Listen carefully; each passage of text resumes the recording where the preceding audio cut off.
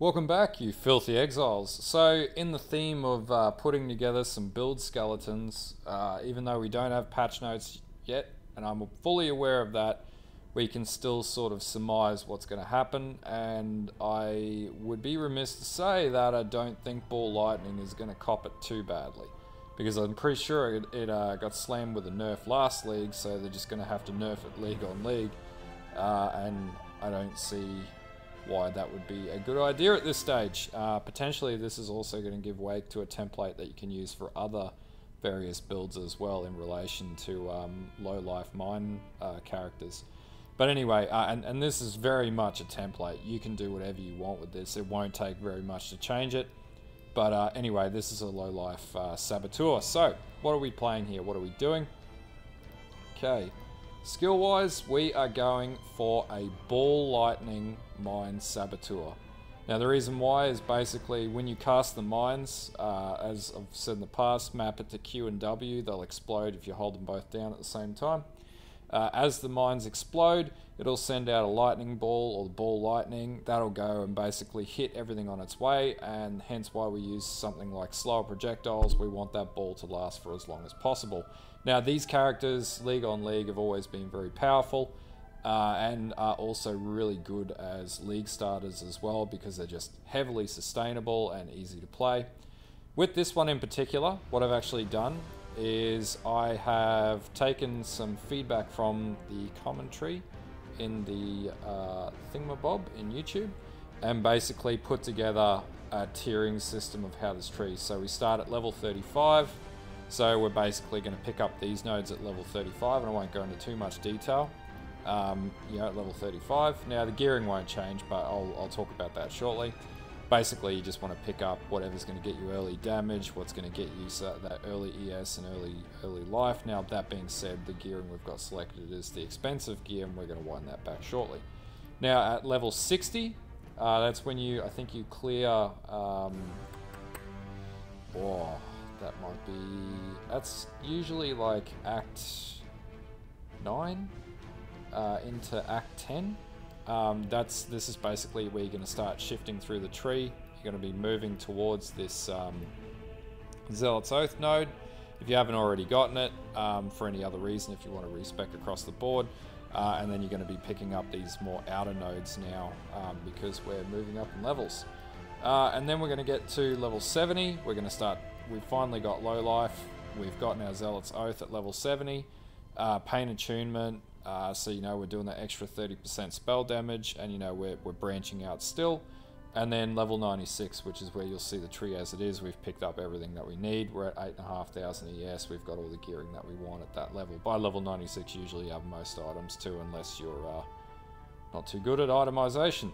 Uh, anyway, uh, this is so this will be in, in the POB that I'll put in the description, so you'll be able to see the different level breakdowns and what to pick on the tree as you progress. Uh, for the first level um, being level 35.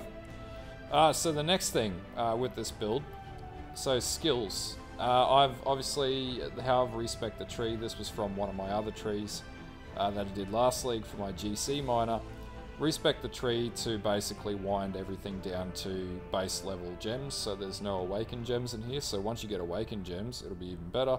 Now qualities uh, are just quality level 20 that's going to be relatively easy with the heist league as heist just made it easy to quality everything. Now you're not necessarily going to have aspect of the spider uh, so we'll remove that as well. Um, that's not something that we have straight away uh, Skitterbots, uh, Blasphemy, um, Enlighten, rah, rah, rah, rah, that you're definitely going to be using that. I'll explain that in a few minutes with the gearing. Uh, clarity and precision, so obviously um, this is a low life build, so we're going to be blood magicking, blood magicking clarity and precision. That's going to give us more crit, it's going to give us uh, more damage, it's going to make us more meaty and powerful. And then we're going to run our other three base auras in our, in our shield, and we'll talk about that very shortly, which is Zealotry, Wrath, and Vaal Discipline. This is all going to buff up your energy shield regeneration and everything, and everything every which way.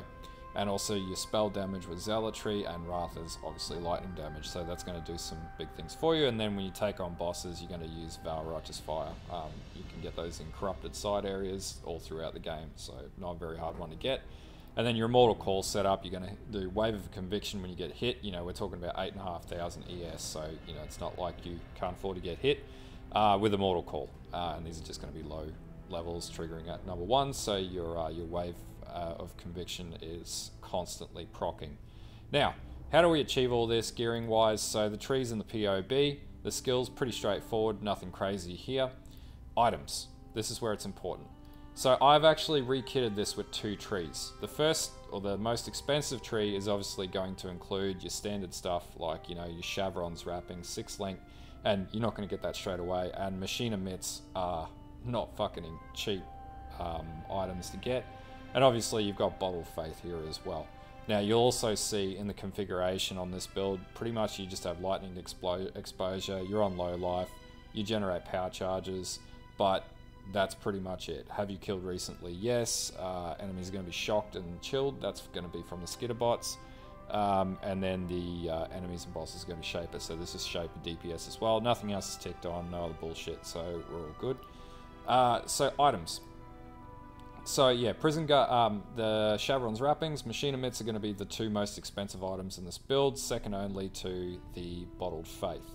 Now, I've left the Bottled Faith in the expensive version um, because realistically, you know, you'll eventually get that, you'll eventually farm that, and this is the expensive iteration. But there is a way to do this on the budget, and you can sub out Shavronne's wrappings for something that will get you through into the end game and still give you good tankability and let you play low life and here we have the cheap itemization.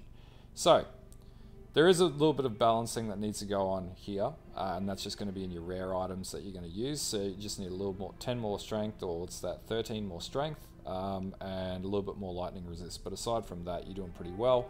Now that being uh, held in mind, ring 2, you're not going to get one of these rings straight away, but really there's nothing too facetious going on with this. Just don't roll it with lightning damage or lightning damage to attacks, you'll be fine. Uh, so outside of that, basically the other thing that you'll notice between the two trees, the cheap and the expensive, is some of the crafted items I've wound back. So the belt, the uh, gloves wound back, the body arm has changed, and also the boots have changed as well, obviously because you know we can't afford boots with aspect of the spider as we're leveling and mapping at endgame. So anyway, to do the cheap version, uh, you can pretty much craft this one. This one isn't anything too crazy. It's very much a craftable one.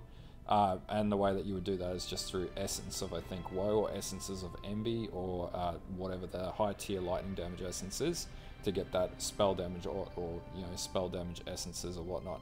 So anyway, the Vertex not necessarily a cheaper item, but it is a cheap option that you can take, and it's definitely not a helmet that um. So the other other helmet is you know that that was on this one is has 352 ES and it's quite min and maxed.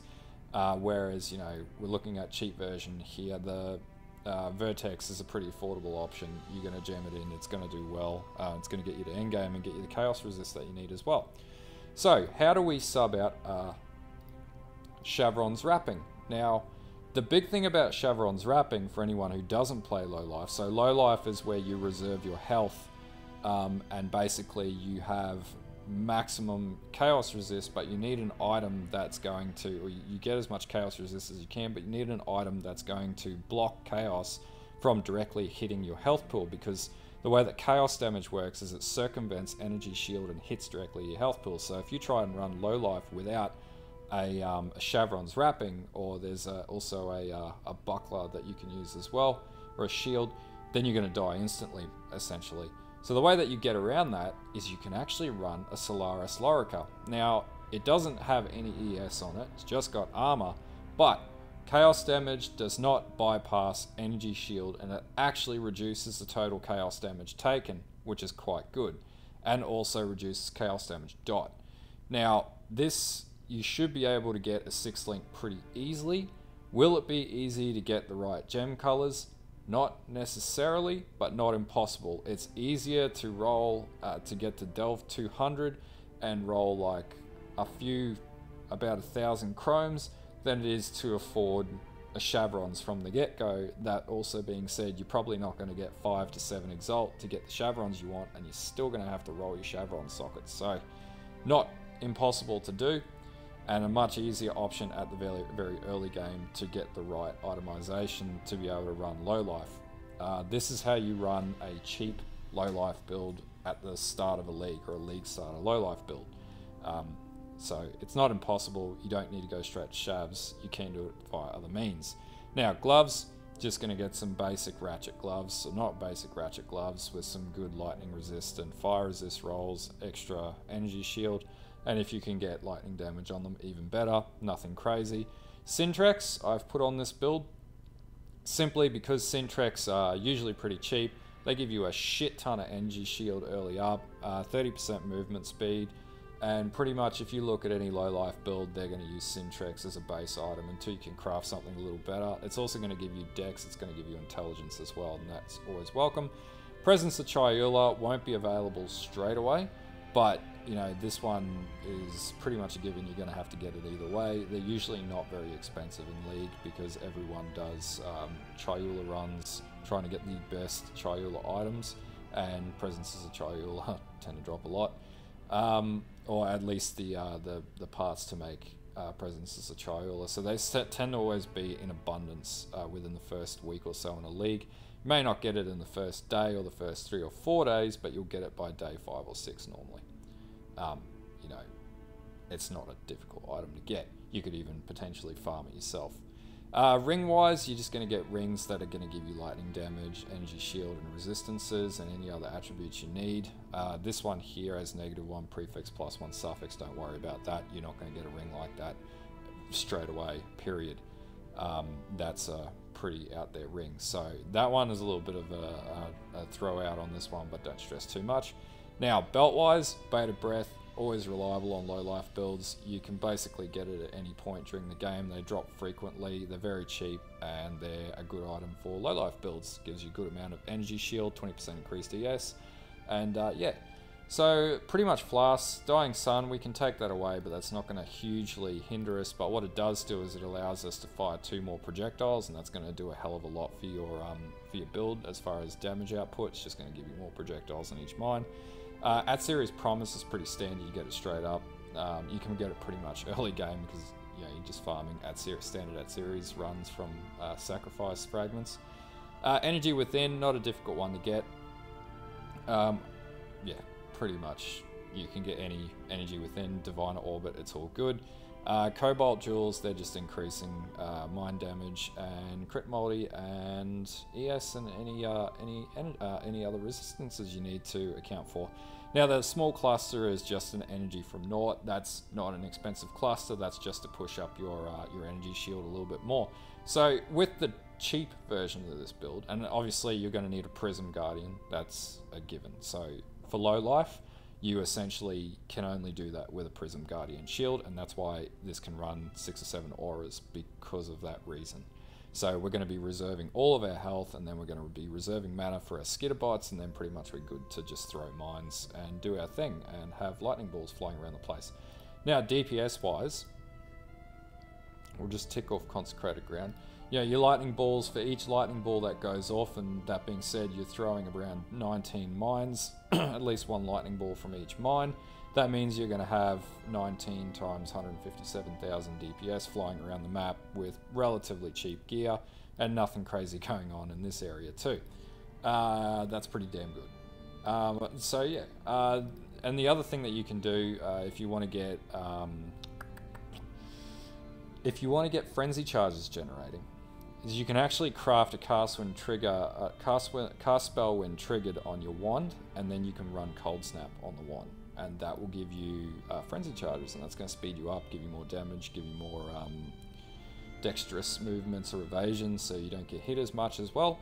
But basically, with low with low shit ass gear as far as the chest plate goes, you're going to be running around with six and a half thousand ES, which is ample amounts of ES at, at an early game phase to get you up to getting your shavs yeah, you got good resistances, maxed out chaos resist, everything going on. So at least, you know, if you're slow in getting all your gear, you're going to be able to play like this and get to end game pretty quickly, and you're going to do tons of damage anyway. So, you know, we're talking about you can you'll be able to drop Awakener with that at this stage, uh, just because of the way that Lightning Ball DPS works. Anyway, um, so yeah, basically in the items, if you hit Manage, you'll be able to see expensive and cheap option for when you get to that point. Um, just click this. That'll amp that up you know, expensive option, and then you know you're going to click, click on consecrated ground because you're going to be using a bottle of faith with that one. It's going to give you another 50 or 60,000 DPS on top, and that's how uh, fickle it can be with uh, just the way that these trees are built. Anyway, will the patch have any significant impact on this? No idea at this stage. I know everyone's going to slay me in the comments and go, you're too early with this. To be honest with you, it's really not going to get impacted that much. It's a pretty powerful spell, and to be honest with you, you might actually be able to convert it into like a Firestorm Mine build or something like that with the way that they're buffing it. They may even be buffing Lightning, uh, Ball Lightning, to be honest with you. Uh, whether or not they're nerfing any of the ES gear, it's unlikely. They would need to completely re-engineer all of this gear so you can't play low life, and I very highly doubt they're going to do that, but hey, they may do it. This is just something to get you, to get you started at the end of the day. Anyway, if this video helps, uh, like and sub, or if it gives you ideas on what to play in the league, you can use this template for pretty much any mine build that you're going to run on low life as well. It's pretty straightforward, pretty easy. Uh, you know, there's nothing crazy here. There's no crazy cluster jewels. This template will work on most things that are mine related. It's just going to take some tweaking on the skills. Depending on the type of spell you want to run, and then basically you're just going to be changing your uh, wrath to anger or to uh, whatever the other one is, uh, hatred. Um, and that's pretty much it. Um, and also the item that you're going to change is just the imbued one. Everything else will stay the same. Um, anyway, uh, this tree will be in the description. And uh, like and sub if this gets you over the line and gets you some ideas. But until next time, bye.